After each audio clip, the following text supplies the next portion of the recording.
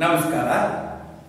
ಹಿಂದಿನ ತರಗತಿಯಲ್ಲಿ ನಾವು ಕನ್ನಡದ ವರ್ಣಮಾಲೆ, ಅಂದರೆ ಆಯ್ದ ಳವರೆಗೂ ವರ್ಣಮಾಲೆಯನ್ನು ತಿಳ್ಕೊಂಡ್ವಿ. ಸ್ವರಗಳು, ವ್ಯಂಜನಗಳು ಯೋಗವಾಹಕ ಈ ರೀತಿಯಾಗಿ ನಾವು ಹಿಂದಿನ ತರಗತಿಯಲ್ಲಿ ಕಲ್ತ್ಕೊಂಡ್ವಿ. ಈಗ ಇಲ್ಲಿ ಒಂದು ಸ್ವರ ಆವನ್ನ ಮತ್ತೆ ಉಳಿದ ವ್ಯಂಜನ. ಸ, ರ, ಗ ಗ. ನಾಲ್ಕು ಅಕ್ಷರಗಳು. ಒಟ್ಟಾರೆ ಐದು ಅಕ್ಷರಗಳಿಂದ ನಾವು ತರಗತಿಯನ್ನ ಪ್ರಾರಂಭಿಸೋಣ. ನಮ್ಮ ಶೈಕ್ಷಣಿಕ ದಿನಗಳಲ್ಲಿ ನಾವು ಆಯಿಂದ ಲಾವರೆಗೂ ಕಲಿತ ನಂತರ ಮುಂದೆ ಪದ ಬಳಕೆಗೆ ಸಾಗ್ತಾ ಇದ್ವಿ. ಆದರೆ ಅದರ ಅನಿವಾರ್ಯತೆ ಇಲ್ಲ. ಈಗ ಸ ರ ಗ ದ, ಅ. ಈ ಐದು ಅಕ್ಷರಗಳು ಒಂದು ಸ್ವರ, ಉಳಿದವು ವ್ಯಂಜನ. ಇದನ್ನ ಬಳಸಿಕೊಂಡು ಮಕ್ಕಳನ್ನ ಪದಗಳ ವಿನ್ಯಾಸ ಮಾಡುವುದರ ಕುರಿತು ಮಕ್ಕಳಿಗೆ ನಾವು ಪ್ರೇರೇಪಿಸೋಣ. ಸ, ರ ಸರ ಅದೇ ಅಕ್ಷರಗಳನ್ನ ತಿರುವು ಮೂರು ಮಾಡಿದಾಗ ರ, ಸ, ರಸ. ಆ ರಸದ ಹಿಂಭಾಗದಲ್ಲಿ ಸ ಹಾಕಿದಾಗ ಸ, ರ, ಸ. ಸ, ರ ಸ, ರ. ರ, ಸ ರ, ಸ. ಅದನ್ನ ವೇಗವಾಗಿ ಹೇಳಿದಾಗ ಸರ ರಸ, ಸರಸ, ಸರಸರ, ರಸರಸ. ಈ ಪದಗಳು ಬರೀ ಎರಡೇ ಅಕ್ಷರದಿಂದ ಉಂಟಾಗಿರುವಂತ ಪದಗಳಾಗಿವೆ. ಆ ಎರಡು ಅಕ್ಷರಗಳೊಂದಿಗೆ ಈಗ ಗವನ್ನ ಬೆರೆಸೋಣ ಸ, ಗ ಸ ಗ. ಸ ಗಸ ಗ, ರ ಗ, ರ, ಸ, ಗ, ರ. ಸಗರ ಸ, ರ, ಗ. ರ ಗ ರ, ಗ. ಗರಗ ಗ, ರ, ಗ ಸ ಗರಗ ಸ ಗ ರ ಗ ರ ಗರಗರ ಗ ಸ ಗ ಸ ಗಸಗಸ ಅದನ್ನ ವೇಗವಾಗಿ ಹೇಳಿದಾಗ, ಸಗ, ಗಸ, ಗರ, ಸಗರ, ಸರಗ, ಗರಗ, ಗರಗಸ, ಗರಗರ, ಗಸಗಸ. ಇವೆಲ್ಲವೂ ಮೂರು ಅಕ್ಷರಗಳಿಂದ ಉಂಟಾದ ಪದಗಳು. ಈಗ ಈ ಅಕ್ಷರಗಳೊಂದಿಗೆ ದಾವನ್ನ ಬೆಸೆದಾಗ ಸ, ದ ಸದ ದ. ಸ ದಸ ರ, ದ ರದ ದ. ರ ದರ ಗ, ದ ಗದ ದ.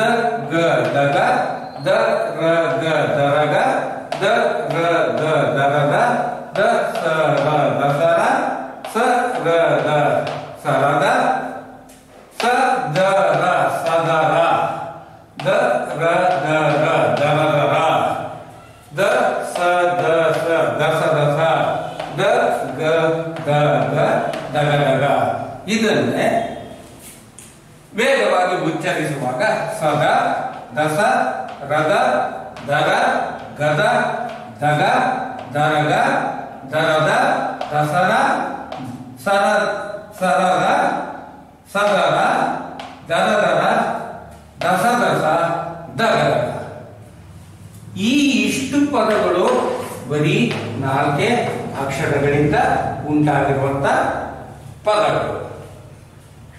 ಈಗ ಅದರೊಂದಿಗೆ ಆವನ್ನು ಬೆಸ ಬೆರೆಸೋಣ ಆಗ ಅರ ಅ ರ ಅರ ಅ ಸ ಅಸ ಅ ಗ ಅಗ ಅ ದ ಅಗ ಅ ರ ಸ ಅರಸ ಅ ಗ ರ ಅಗರ ಅ ದ ರ ಅದರ ಅ ಗ ಸ ಅಗಸ ಅ ಅದರ ಅದರ ಅದನ್ನು ವೇಗವಾಗಿ ಸ್ಪಷ್ಟವಾಗಿ ಉಚ್ಚರಿಸುವುದಾದ್ರೆ ಅರ, ಅಸ, ಅಗ, ಅದ, ಅರಸ, ಅಗರ, ಅದರ, ಅಗಸ, ಅದರವರ. ಈ ಒಂದು ಪಾಠ ನಾವು ಮಗುವಿಗೆ ಉಚ್ಚಾರಣೆಗಷ್ಟೇ ಪೂರ್ವಕವಾಗಿ ಓದಲು ಪ್ರೇರೇಪಿಸಲು ಮಗುವನ್ನ ನೀವು ಗಮನದಲ್ಲಿರಿಸಿ ಬರೀ ಇದು ಓದಿಗಾಗಿ, ಈಗ ತಿಳುವಳಿಕೆಗಾಗಿ ಇಲ್ಲಿ ಚಿತ್ರ ಸಹಿತ ಪದಗಳಿವೆ. ಇದನ್ನ ಮಗುವಿಗೆ ವಿವರವಾಗಿ ತಿಳಿಸಿಕೊಡಲು ಬಯಸುತ್ತೇನೆ. ಸರ ಸರ ಎಂದರೆ ಆಭರಣ. ಒಂದು ವಸ್ತು ಒಂದಕ್ಕೊಂದು ಬೆಸೆದಾಗ ಸರವನ್ನ ನಾವು ಉಂಟು ಮಾಡಬಹುದು. ಈಗ ಮುತ್ತು, ರತ್ನ ಹಾಗೆಯೇ ಬೇರೆ ಬೇರೆ ಬೀಜಗಳು. ಬೀಜಗಳೆಂದರೆ ನೀವು ರುದ್ರಾಕ್ಷಿ ಮಾಲೆಯನ್ನು ನೋಡಿರ್ಬೋದು. ಈ ರೀತಿಯಾಗಿ ಒಂದೇ ತರಹದ ವಸ್ತುವನ್ನ ಒಂದಕ್ಕೊಂದು ಬೆಸೆದಾಗ ಸರ ಎಂದು ನಾವು ಉಂಟು ಮಾಡಬಹುದು. ನೆಕ್ಸ್ಟ್ ರಸ. ರಸ. ರಸ ಎಂಬುದು ಯಾವುದೇ ಹಣ್ಣು, ತರಕಾರಿ ಅಥವಾ ಸೊಪ್ಪಿನಿಂದ ಮಾಡಿದ ಪೇಯ. ಮುಂದಿನ ಗರ. ಗರ ಎಂದರೆ ವಿಷ. ವಿಷವೆಂಬುದು ಟೇಸ್ಟ್ ಟೇಸ್ಟ್ ಅಂದ್ರೆ ರುಚಿ. ಇಲ್ಲಿ ನಾವು ಒಂದು ಹಾವಿನ ವಿಷವನ್ನ ಸಂಗ್ರಹಿಸುವುದನ್ನ ನೋಡ್ತಾ ಇದ್ದೀವಿ. ಈ ವಿಷವನ್ನ ಔಷಧಿಯಾಗೂ ಬಳಸಿಕೊಳ್ಳುತ್ತಾರೆ. ಹಾಗೆ ಅಂದ ಮಾತ್ರಕ್ಕೆ ಎಲ್ಲ ವಿಷವು ನಮಗೆ ಸಾವನ್ನು ಉಂಟು ಮಾಡೋದಿಲ್ಲ ಗ, ರ, ಗ, ಸ. ಇದು ಗಟ್ಟಿಯಾದ ವಸ್ತುಗಳನ್ನ ಕೊರೆದು ವಿಭಜಿಸಲು ಉಪಯೋಗಿಸುವ ಒಂದು ಉಪಕರಣ, ಗರಗಸ. ಚಾಕುವಿಗೂ ಗರಗಸಕ್ಕೂ ಏನು ವ್ಯತ್ಯಾಸ ಅಂದರೆ ಚಾಕುವಿಗೆ ಹಲ್ಲುಗಳಿಲ್ಲ, ಗರಗಸಗಳಿಗೆ ಹಲ್ಲನ್ನ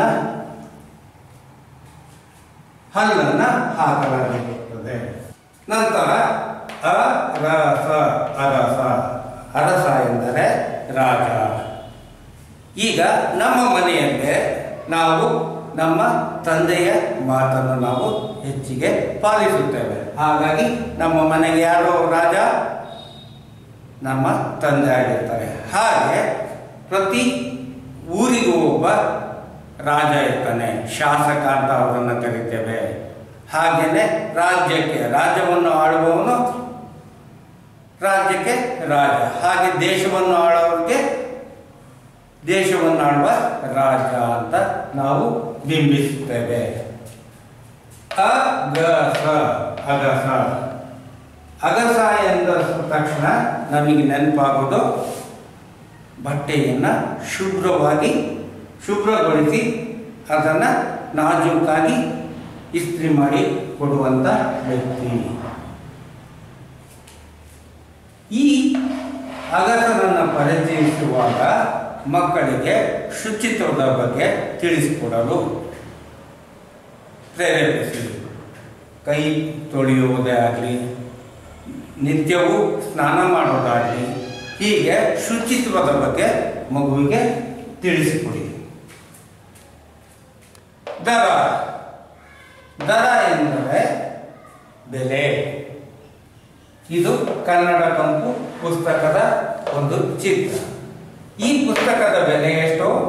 ಇಪ್ಪತ್ತು ರೂಪಾಯಿಗಳು. ಇದನ್ನ ನಾವು ದರ ಎಂದು ಕರೆಯುತ್ತೇವೆ. ಇದನ್ನೇ ಆಂಗ್ಲದ, ಆಂಗ್ಲ ಭಾಷೆಯಲ್ಲಿ ಹೇಳೋದಾದ್ರೆ ರೇ. ದರ ಎಂದರೆ ರೇ. ದಸರಾ ದಸರಾ.